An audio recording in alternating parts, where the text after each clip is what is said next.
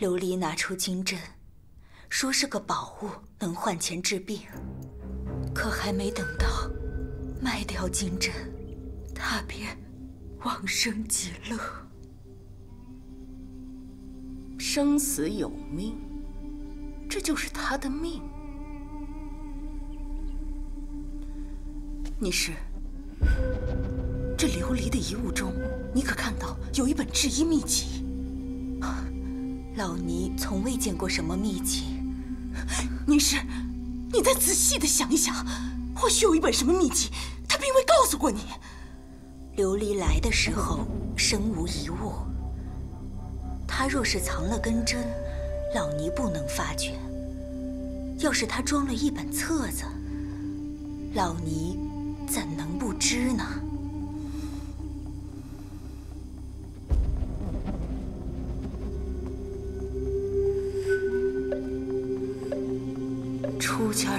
狂语，看来你是所言非虚。不管怎么说，如今拿到了金针，我就是名正言顺的天下第一针，各位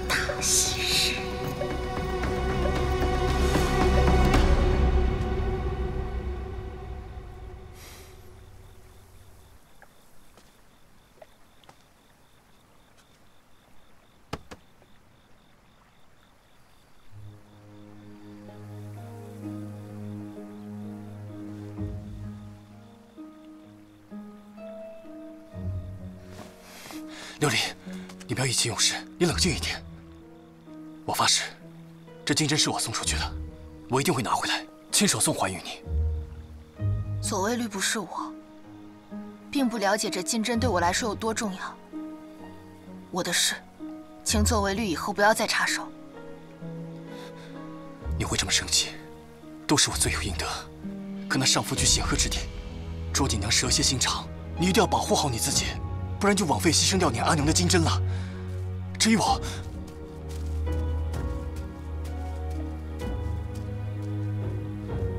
我一定会保护你。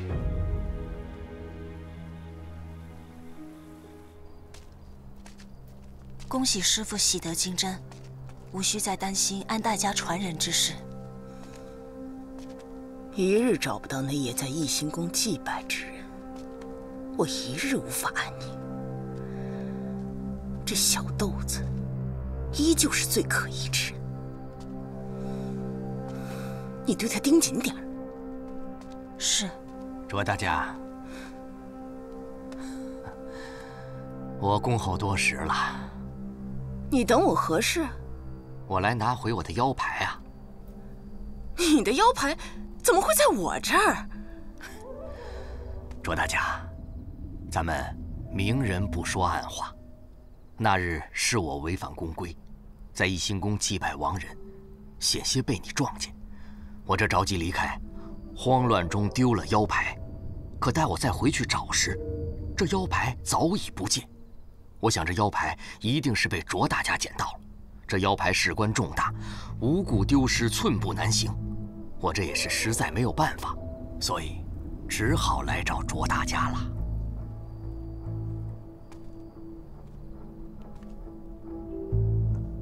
那日在一心宫祭拜的人，居然是你！是我。你在祭拜何人？何必明知故问呢？那天是安大家的忌日。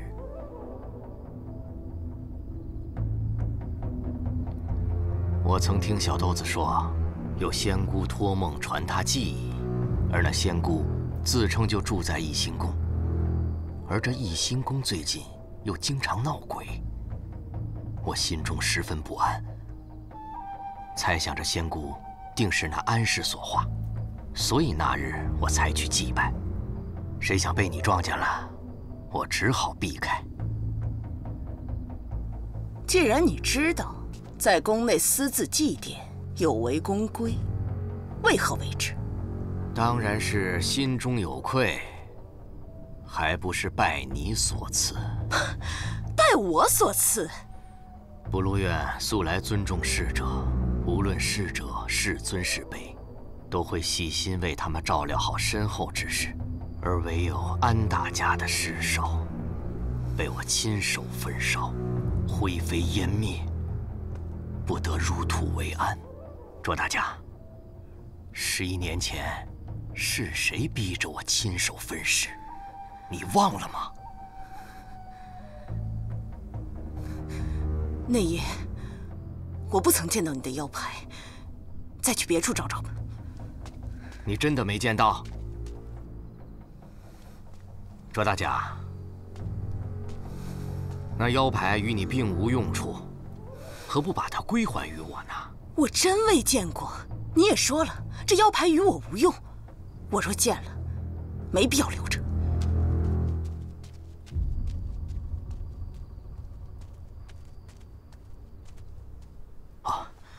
多谢七娘出手相助，还请七娘多劝劝小豆子，让他千万别为了那根金针，以身犯险。有劳七娘了。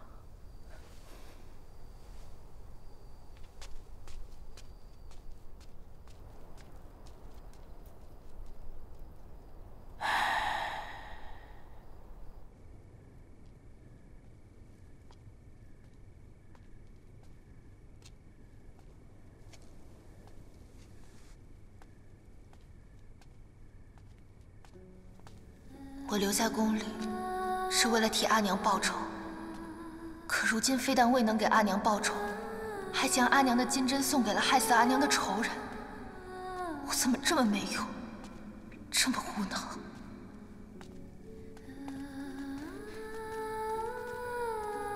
小豆子，小豆子，我知道，这会儿你一定很难过。好在师傅已经不再怀疑你和安大家的关系了。他为了向你学习制衣技艺，暂时不会对你不利的。你阿翁还让我来劝你。他说，金针是身外之物，切莫为了一根金针，以身犯险。裴行俭、阿翁、七娘，都是我最信任的人，他们却一起瞒着我，让我成了不孝之人。我这么没用，怎么对得起阿娘？小豆子，七娘，啊，我，咱们说的道理其实他都懂，就是心里过不去，让他一个人静一静吧。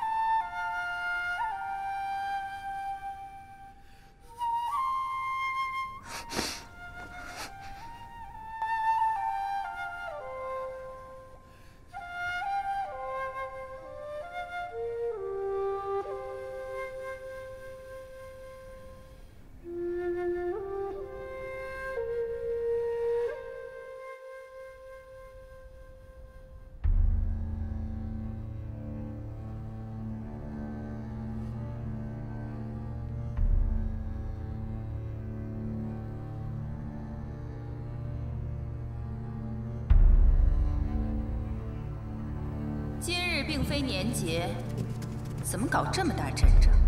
又将我找来，还请出了制衣之祖皇帝和纺织之祖雷祖的神像。莫非因为昨天新得的那枚金针？回禀林上府，这枚金针是我师父留下的，是代表了天下第一针身份的圣物，意义非凡。我是安氏唯一的弟子，本该继承此物，无奈师傅死后，金针遗落民间，时隔十一年后方才物归原主，回到我的手中。这是我卓锦娘的幸事，也是咱们上福局的喜事，所以我要在今日举办隆重的祭真仪式，昭告上福局上下，也是昭告世人。林上甫，请上座。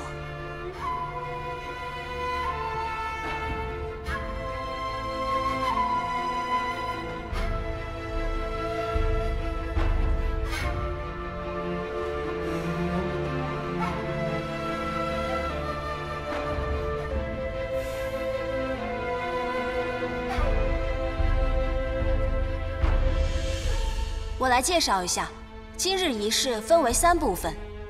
第一部分由林尚福和卓大家一起带领大家祭拜咱们的祖师爷、皇帝和雷祖。第二部分由卓大家带领大家一起祭拜金针。第三部分，咱们尚福局的所有人一起参拜新一代的天下第一针卓大家。慢着！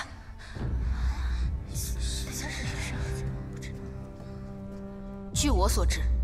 当年陛下赐金针给安大家，同时御赐给他天下第一针的称号，是因为安大家的制衣技艺出神入化。换言之，并不是谁拿了安大家的金针，谁就是天下第一针。天下第一针的名号，应该是最有能力、最有才华者居之。小豆子，你不过是个身份低微的防疫医官，从不禄院暂时借调到上福局来的，你才来几日？就敢在这胡说八道！你是不是活得不耐烦了？小豆子所说，恐怕是上福局上上下下正在腹诽之事。小豆子不过是快人快语，把心里话讲出来罢了。我乃安氏唯一的弟子，潜心制衣二十多年，在这上福局，我若称第二，没人敢称第一，谁敢腹诽我？你不要再说了，快去给卓大家道个歉。小不忍则乱大谋，你机警点啊。卓大侠，您自称是安大家的唯一弟子，可是上福局上下都知道，安大家并未将一身绝艺传授于您。您又自称制衣技艺上福局第一，可敢与我比上一比？小豆子，你是不是疯了？仗着点小聪明，看了点奇书，学了点雕虫小技，竟敢在我的面前口出狂言！来人呐！把他拉出去，给我关起来！等祭真仪式结束之后，我再和他算账。师傅，您得到金针本身就是喜事一桩，而且今日又是祭拜金针的大日子，千万不要为了一个小豆子坏了您的心情。请您看在他年少无知的份上，就饶过他这一回吧。小豆子，你快给卓大家认个错啊！我哪里说错了？安大家没有将制衣绝技传给您，也没有将金针亲手传给您，那卓大家凭什么继承天下第一针的名号？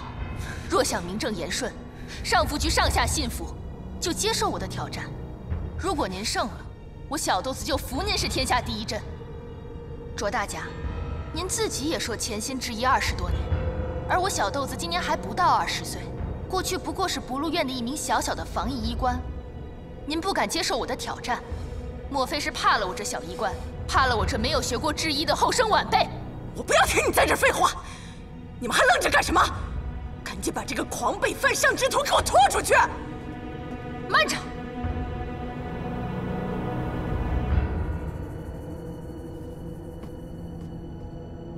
林上福，您是上福局的当家人，小豆子请您说句公道话。若林上福也觉得这御赐的金针和天下第一针名号可以这般儿戏，小豆子也无话可说。只怕事情将来传到陛下耳中，陛下会怪罪林上福管理不力。任人唯亲。小豆子背后有太子和武才人这两座靠山，他这话是在要挟我吗？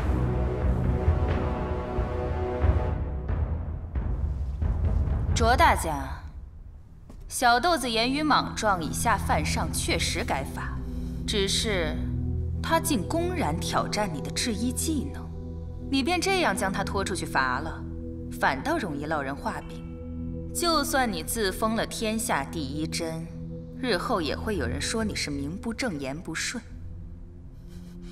不如等着大家风风光光赢了比赛，再将小豆子两罪并罚。如此一来，小豆子没话说，上福局上下心悦诚服，我也好向内侍院禀明原委，正是将这天下第一针的封号赏了你。这样岂不完美？林尚福果然深谋远虑，治理有方。小豆子若输了比赛，甘愿两罪并罚，给大家一个交代。我宣布，今日的祭真仪式暂停。金针的归属和天下第一针的名号将会通过比赛的形式公平决出。小豆子敢于向卓大家发起挑战，这种精神值得鼓励。通过比赛的形式，促进上福局内部相互学习，精进大家的技艺。这本身，也是我把小豆子从不露院调至上福局的本意。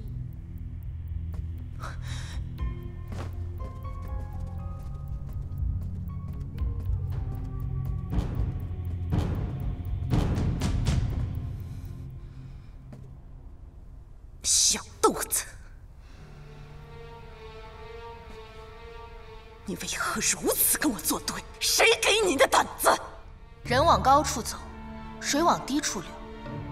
卓大家的制衣技艺分明不如我，却觊觎天下第一针的宝座，我为何不可呢？你以为真的就凭你能赢得了我？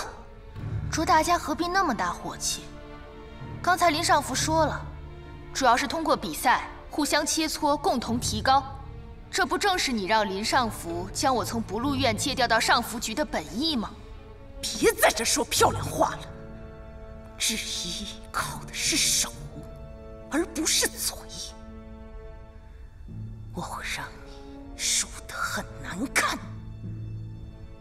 那请卓大家务必把看家的本事都使出来，好让我开开眼界。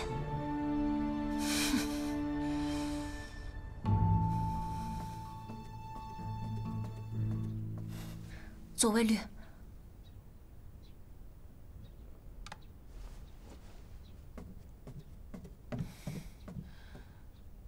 可是小豆子出事了。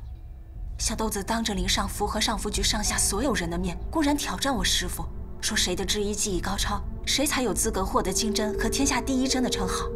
小豆子以下犯上，这次若是输了比试，便会两罪并罚。林尚福允了。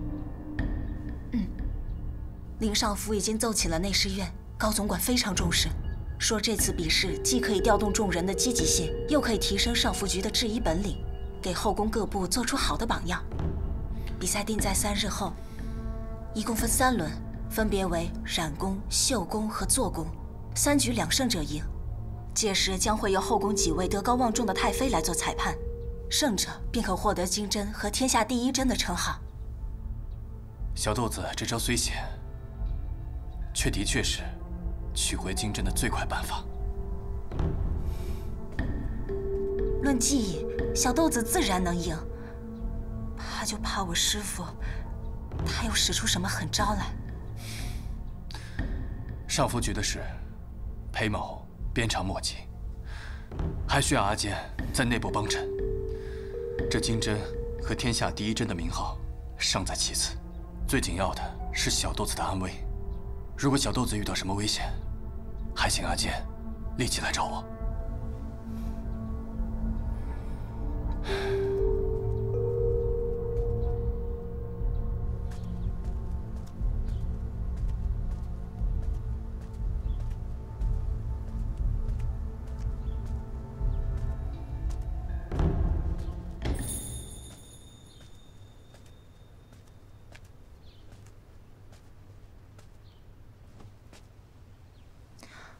试了无数遍，为何染不出天边朝霞的那抹红色？这布匹暗淡无光，甚至比不上普通染坊的染制效果。难道是哪个环节出了错？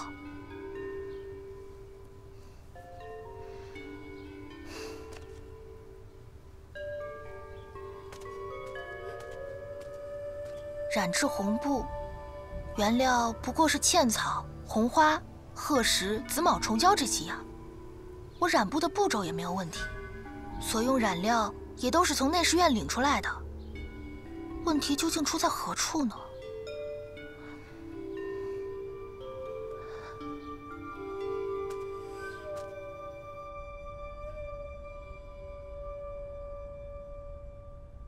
小豆子那边怎么样了？小豆子日夜不停的试验配方，但染出来的布匹色泽暗淡，他正在为此事费脑筋呢。哼，入绣未干，竟敢跟我斗法！他还嫩了点不自量力。师傅，后天就要比试了，您怎么还不着手准备啊？时间刚好。现在准备还来得及。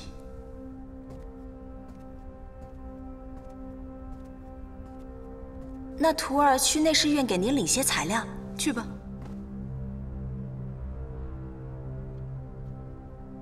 不知师傅还缺哪些材料？所有的材料都领一些回来便是。是。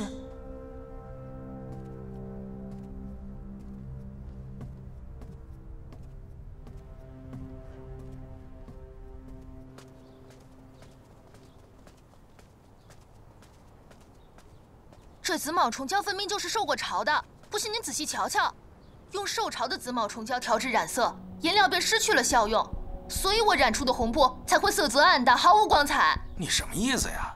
染不出好的颜色就怪罪别人？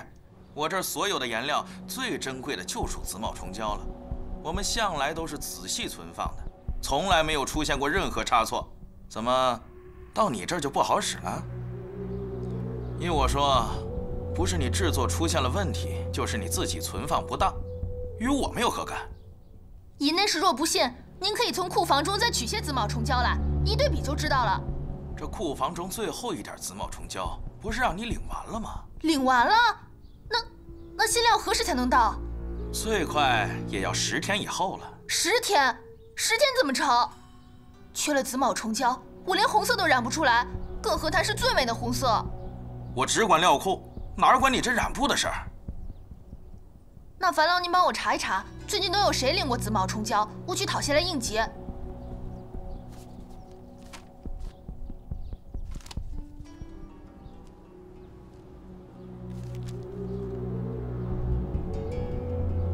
就你领过，没别人了。不对，我刚刚在师傅房里看到的盒子。里面应该装的就是紫卯虫浆。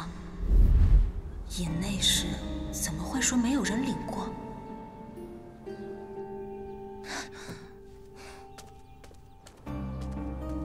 窦医官，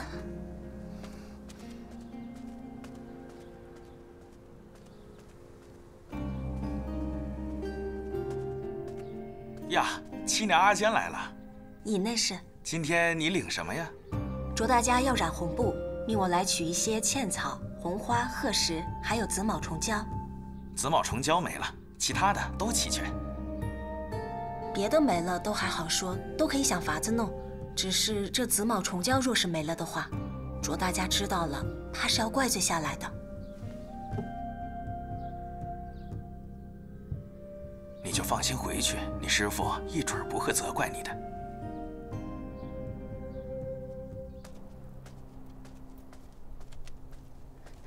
窦医官，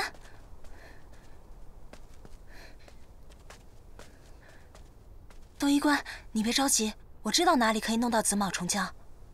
亲娘子子，难道是想替我从卓锦娘那儿偷来吗？你怎么知道？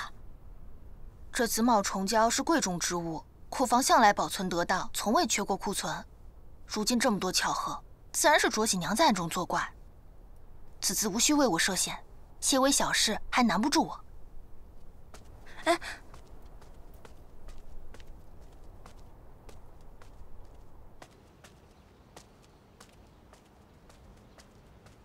小豆子，今日怎么有空来东宫了？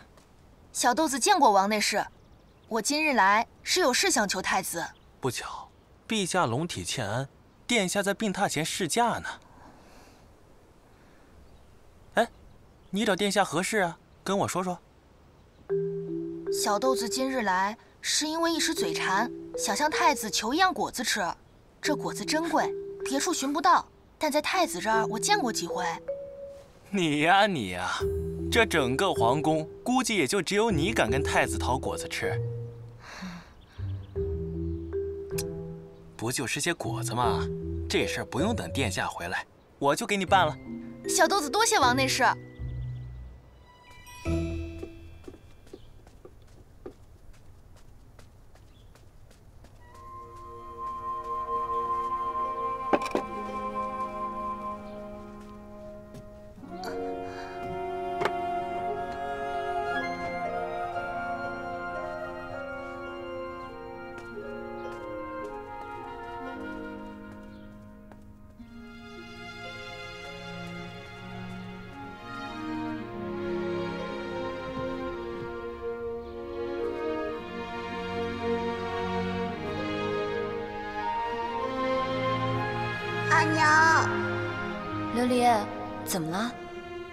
娘答应过我用凤仙花染指甲，可是凤仙花都枯萎了。阿娘，您看。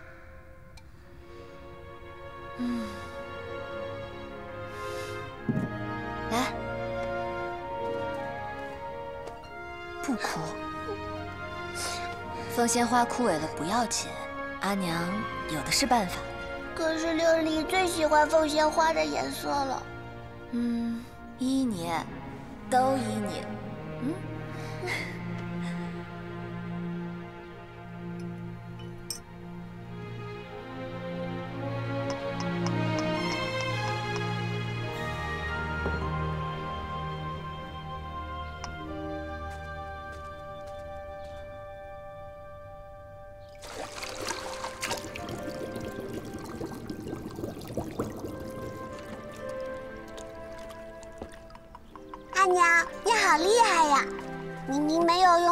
凤仙花，可是调制出来的颜色却跟凤仙花一模一样。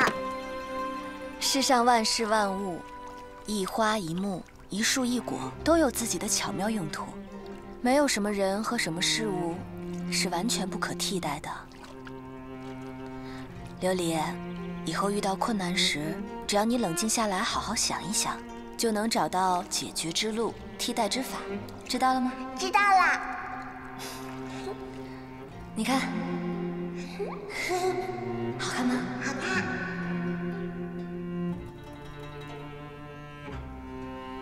阿娘，感谢您给我的智慧，给我战胜困难的勇气。您的在天之灵一定要保佑我，赢下比赛，拿回您的金针。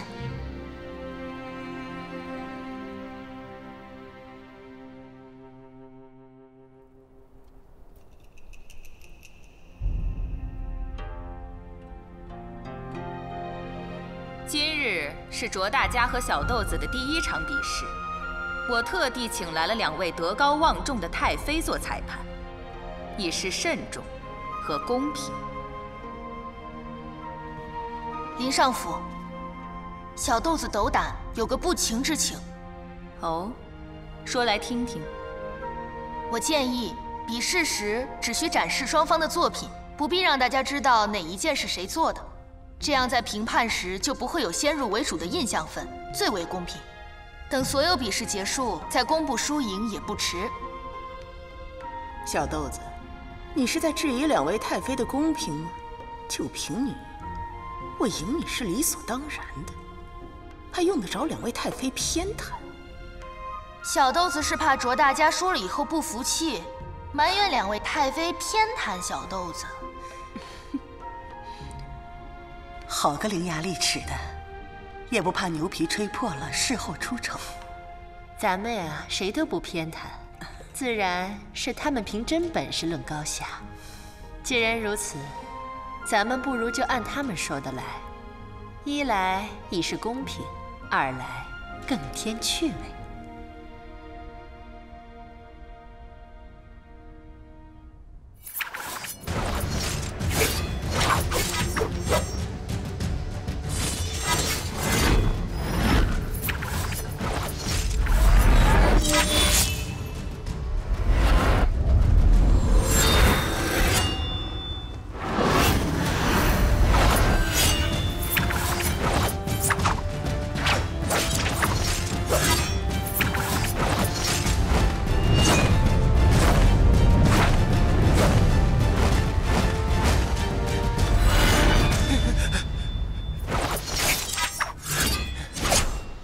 殿下，武才人刚刚差人来传话，说陛下高热难退，从昨日起便奄奄卧床不起了。更衣，是，即刻去甘露殿看望陛下。哦，对了，殿下，我还听说小豆子前几日公然挑战卓大家，要跟卓大家争夺天下第一针的封号。这是什么时候的事？今儿就比第一场，据说三局两胜。前几日小豆子来东宫讨果子的时候，也没提及此事，想是不想让殿下您知道了担心。好个小豆子，有魄力，有胆识。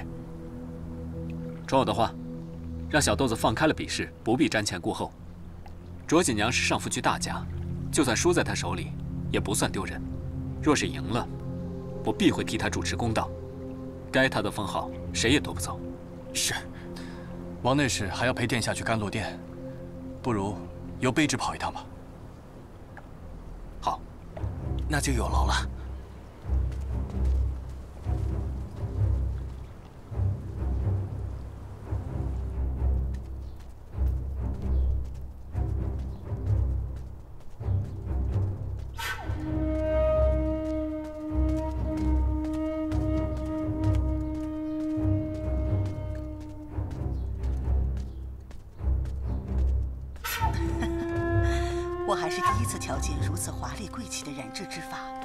这红色啊，犹如日出的霞光，红艳华美，居然还透着一抹金色。嗯，日出东方，其道大光。这披帛不仅颜色美，寓意更是吉祥。嗯。云海，今天的比试谁赢了？我也说不清。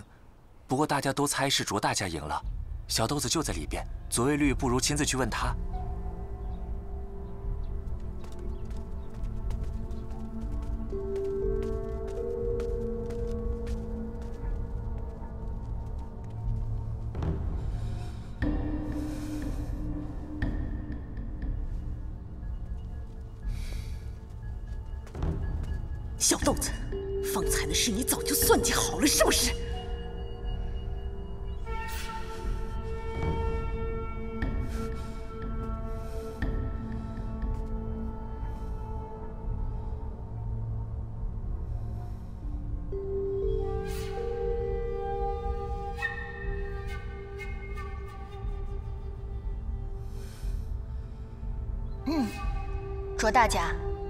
小豆子算到自己能赢，却没算到你会与料库的管事勾结，在我的紫卯虫胶里动手脚，想用这种见不得光的手段赢下比赛。卓大家，当真有此事？小豆子，你休要胡说！你若真用了受了潮的紫卯虫胶，又怎么可能染出如此绚丽的朝霞红帛来？卓大家这是不打自招啊！不过多亏了卓大家对我的紫卯虫胶下了黑手，不然我怎么会想到用葡萄浆液代替紫卯虫胶来染色呢？葡萄？你是说你用的是葡萄？哈，妙，真是妙啊！青出于蓝而胜于蓝。卓大家，刚才我看两位太妃对你赞赏有加的模样。一定是误以为这匹朝霞红帛是出自你手。接下来的比赛你可要加把劲了。三局两胜，你已经输了一局，你可再也输不起了。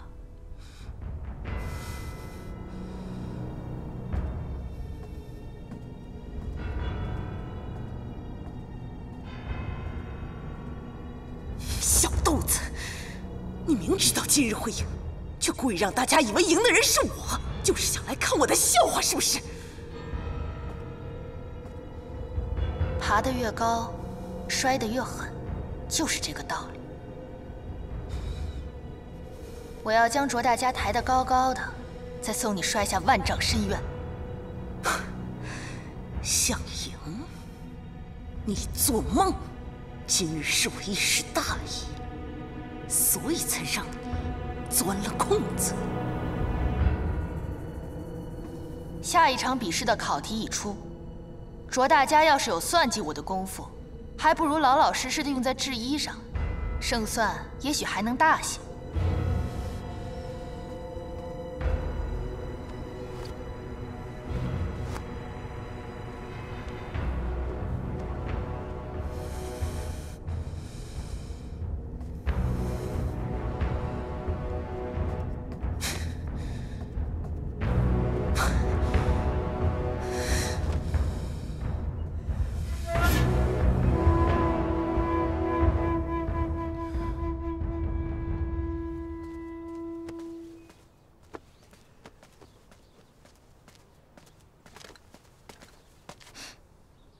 和你说句话，小豆子，喂，有话便在这儿说吧，莫要拉拉扯扯，纠缠不清。你们说的话我都听见了。卓锦娘阴险狡诈，一计不成定会再下黑手。过几日，太子派我出宫办差，我没法在你身边护着，所以我才担心过来看一看。上夫觉得七娘可以帮助你。你莫要意气用事，拒绝好意。你不用在这儿充好人。若不是你将金针送给卓锦娘，我又何须冒此风险？今后我的事我会自己看着办，无需左卫律再插手。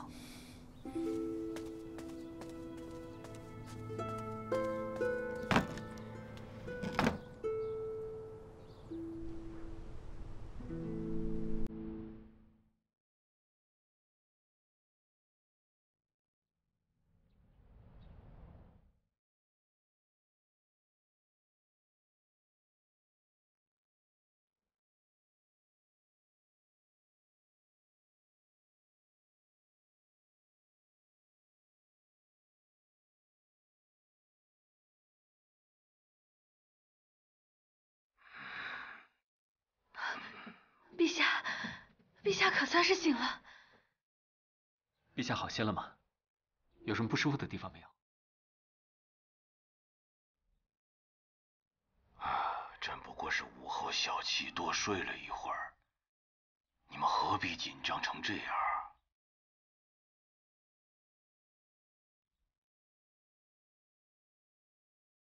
不过这一觉睡得朕啊，头昏脑胀。现在是什么时辰？朕睡了多久啊？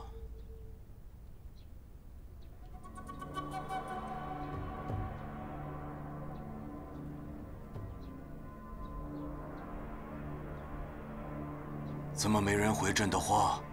现在是什么时辰？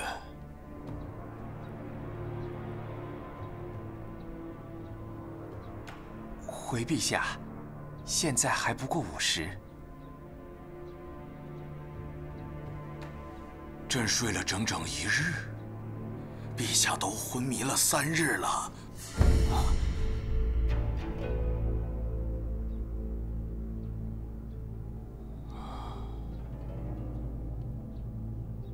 朕一直在喝你们太医院的汤药，也一直未见好。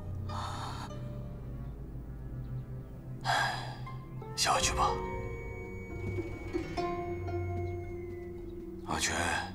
奴婢在。那个纯阳散人上回给朕服用的丹药甚好，怎么不再呈上来了？回陛下，仙丹还未出炉，我这就去催。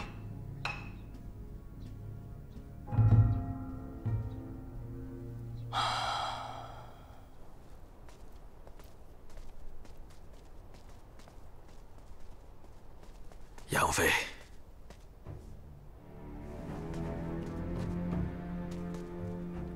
这一回，陛下的病情与以往都不同，竟是清醒时少，昏睡时多。宗太医，你跟我说实话，陛下的病情究竟如何？陛下的脉象有表无里，缓慢不收啊！我没耐心听你咬文嚼字，你只说这回还能不能治好？陛下气血耗散，腹脏衰竭，阳气不收。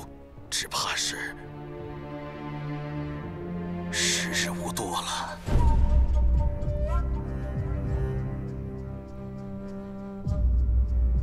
记住，这话断不可在别人面前提起。是，小人明白。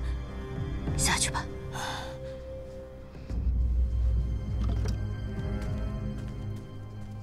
母亲，留给咱们的时间不多了，要扳倒李治不难，只是他身边的武媚娘和裴行俭太过碍事，屡屡坏了咱们的好局。那就先除去武媚娘，再除掉裴行俭。只是陛下近来对武媚娘多有倚重，对我却越来越疏远了。儿子倒是有一个主意，就算陛下不信母亲的话，有一个人的话，他一定会信。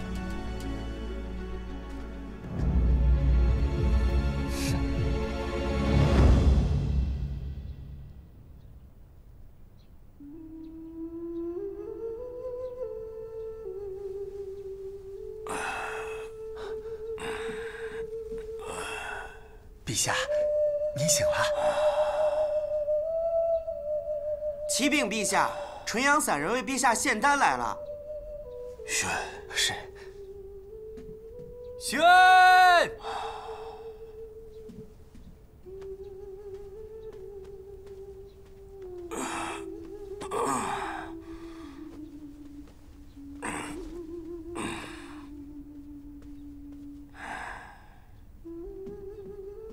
恭喜陛下，贺喜陛下！赤炎仙丹终于炼成了，快呈上来。